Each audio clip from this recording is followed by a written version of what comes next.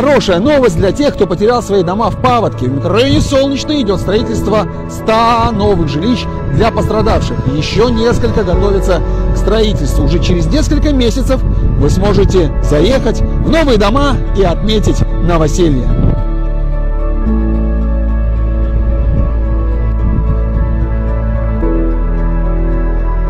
Друзья, я хотел бы вас сейчас познакомить с Мурат Бапашевичем. Он является координатором строительства в микрорайоне Солнечный домов для пострадавших. Мурат Бапашевич, добрый день. Здравствуйте.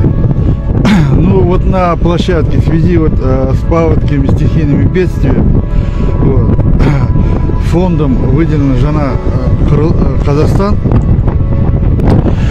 а, деньги на строительство первых 100 домов для э, жителей города Петропавловска, пострадавших от паводки.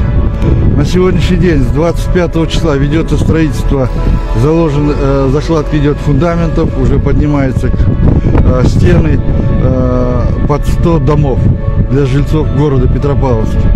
При, э, привлечены э, местные э, подрядные организации, э, 10 организаций, это Изертео ТО, ТО Основание, ТО Мирас Групп, Ашстрой, э, Альфа Север. Предприятие э, привлечи- привле- на сегодняшний день уже работает более 500 человек на этих площадках. Мурат Бапашевич, а, главный вопрос, который задают сейчас, конечно, будущие новоселы, это качество жилья. Кто его контролирует? Его контролирует, в общем, э, 10 у нас технадзоров. Э, За каждым э, инспектором технадзора закреплены э, 10 домов. Они, значит, смотрят качество э, закладки фундамента и до ключа они ежедневно работают вместе то же самое с 8 утра и до позднего вечера.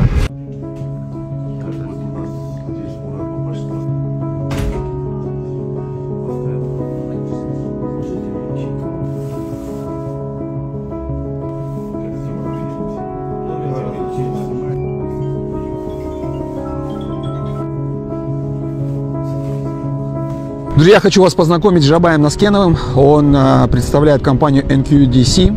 Вы занимаетесь строительством домой, Жабай. Да, конечно. И сейчас вы здесь в Солнечном помогаете строить новые жилища для пострадавших. Да, это социальный проект именно для людей, которые пострадали от паводков 2024 года. Компания MKDC, э, как авторы проектов, э, взяли за это дело. Э, на- На данный момент, получается, э, как вы видите, ведется кладка газоблока. Э, Компания MKDC нацелена на то, чтобы, получается, выполнить дом качественно, э, для того, чтобы, получается, жители именно э, пострадавших районов, получается, могли комфортно в условиях, получается, наших климатических, ну, нашего климатического района жить и э, развиваться и строить свое дальнейшее будущее.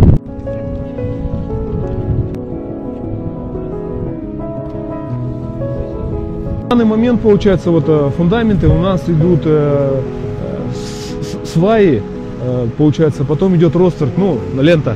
Значит, септик канализационный. Мы уже проклали трубу, уже все проложили.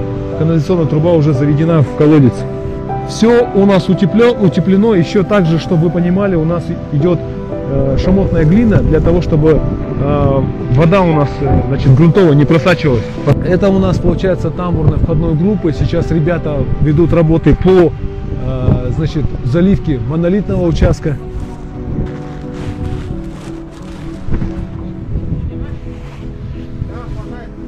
Так, по расположению дома э, в, данном, в данном месте у нас будет располагаться техническое помещение. Дальше следует санузел, гостевая комната, кух, кух- получается кухня. Гос- здесь у нас получается дальше по расположению будет гостевая комната, спальня и еще одна спальня. Сколько квадратов всего? Здесь у нас получается э, 80 квадратов вместе с тамбуром, но жилая площадь 76 квадратов. Сколько соток участок? Здесь участок у нас 10 соток, заведены коммуникации, вот вы видите, уже у нас прокол осуществили водопроводно. Ребят, мы сейчас находимся в доме, общая квадратура 80 квадратов. Здесь есть гостиная, техническое помещение, большая кухня и две спальни. Перегородок внутренних еще нет, они появятся чуть позже. Ну а вот та самая планировка, о которой мы сейчас говорили. Детская спальня, гостиная, кухня-столовая, санузел, техническое помещение, коридор и тамбур. Несмотря на то, что сроки достаточно ограниченные, около 40 дней, но, как утверждают строители, все качество будет сохранено. Для этого есть технический надзор.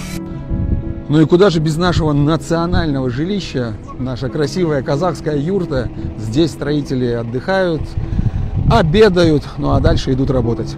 Я задал вопрос, почему именно юрта. Потому что она быстро собирается, быстро разбирается. В общем, очень удобная и теплая.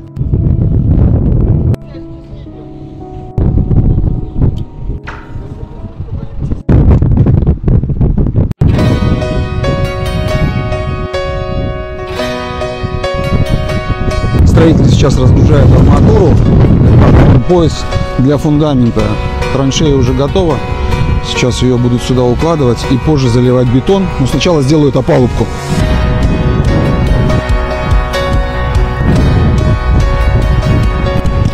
Только что мы с вами были возле фундамента, в который только готовят установку армпойса. Вот здесь на ваших глазах он уже установлен. Осталось добавить опалубку. Но сейчас строители с помощью нивелира ее равняют.